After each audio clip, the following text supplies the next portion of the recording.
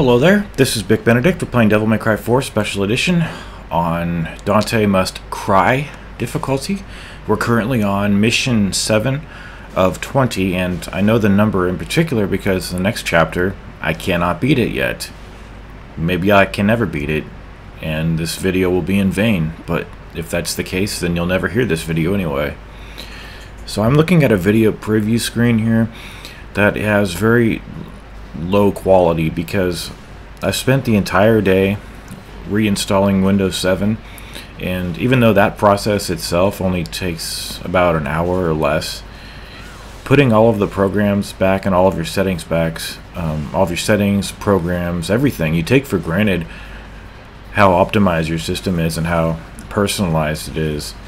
And I never took it for granted but I I realize the value of of uh, you know making sure that gratitude is not lost in that respect. So the thing I mentioned about the preview screen is that I have 16 gigabytes of RAM.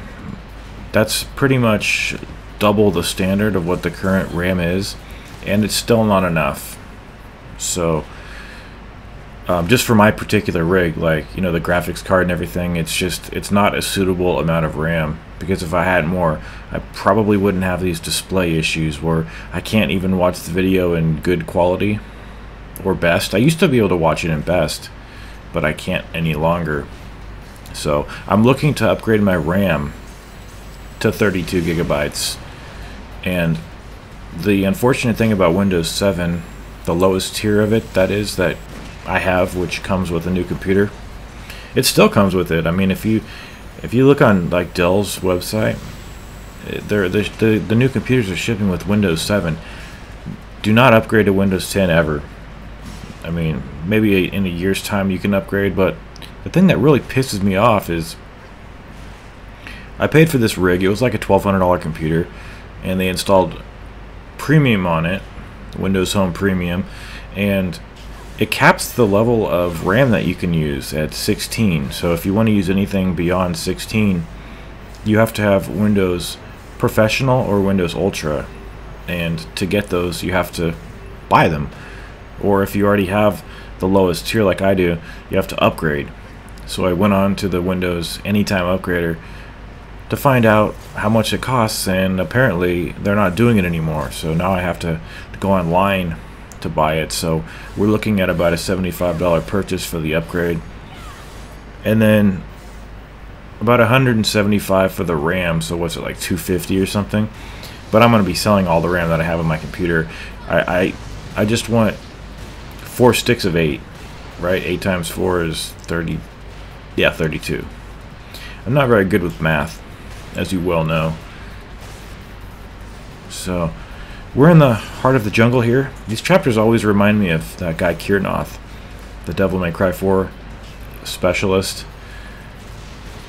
Uh, just because I was using a lot of his videos for guidance and uh, to get to help me get the orbs, the blue orbs, I should say.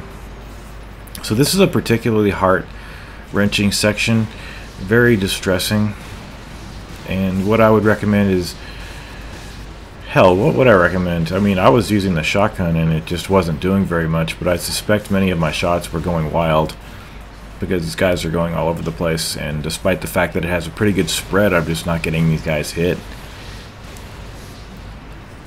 So I've I've just been countering problem after problem. It's not even like a daily issue where there's like a problem. It's it's every time I'm doing another task, like doing one task and then doing another another there's another problem that crops up. It's just so many fucking problems. So many problems. So I always hate these parts. There's there's two of them two of them with her and one of them with the other character. But Anyway, so I think I'm going to sell my RAM for, let's see, it's a good RAM. It's uh, four sticks of 4 gigabytes DDR3, which is the newest Uh, like it, well, it's not the new standard. I went on TotalBiscuit's about page to see what he had, and some of his up some of his stuff was was obsolete. Like I, I saw, like he's using DDR4 RAM. And he's got like there's always one guy who has like better stuff than anybody, and that's that guy probably. And I just don't like that. I, I don't like people that just one up just for the sake of one upping everybody else. Like me, I just want the best for my rig, you know. And maybe I don't even care about that guy. That guy is a cynical asshole.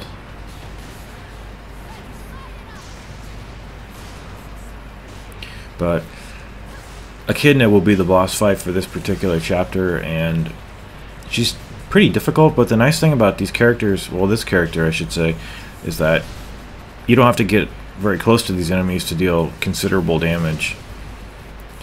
And if I have to, if I have to say, they've moderated the the, the charge shot at a, just about a perfect level of uh, the increments, I should say, because it's very easy to get a level two charge, but it's there's so many times when you're trying to get a level three charge and you just don't get it because you have to cancel out of it.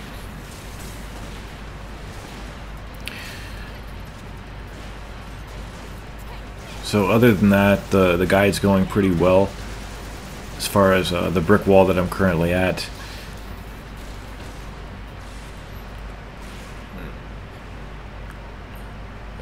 I'll discuss that more in detail. I did release video one of the of the new guide, and that was kind of against what I usually do.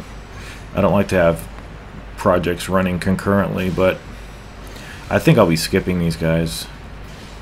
Or not. No, I don't do it. But there's a YouTuber called Mundane Matt, who I never would have heard of probably if I didn't watch some of Re Review Tech USA's videos. And uh, the guy Kirnoth frequents that channel quite frequently. If you want to see comments by that guy, I always see comments of his on like all the Mundane Matt videos and it's just that moment where you see like a comment like from Kirnoth. It's just what what this guy, this Devil May Cry 4 pros watching mundane Matt. But I was watching one of his streams, and uh, he says he said he's from Hawaii, so I guess that's where he hails from. But I've just been watching a lot of tutorials trying to fix my rig trying to solve all these problems and it's just taken the entire day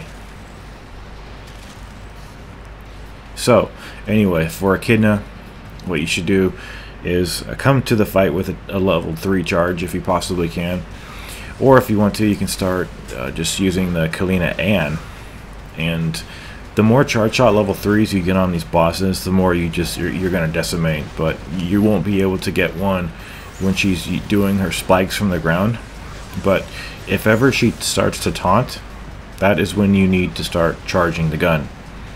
Because when she's taunting, she's not raising the spikes up from the ground, and you could, you might even be able to get a level 3 charge if you do it right away. See, like I did right there. Look at all the fucking damage that took off. It's incredible. I don't like the bosses in this game for the reason that once they reach a certain damage threshold, they go berserk, and I, I've, never, I've never liked that. So these enemies are most vulnerable to the devil trigger when they're stunned. That's pretty much the the prevailing theme. It goes for all the characters. If they're stunned, you you do more damage. So uh, a strategy like this is not too involved. The only thing I'm doing is I'm, I'm evading. I'm uh, I don't even think I used the bayonet at all in this fight. It's not really worth it. But I took a sloppy hit right there just because I was really nervous. And just trying to get out of this chapter. And get the fuck out of Dodge. Take care.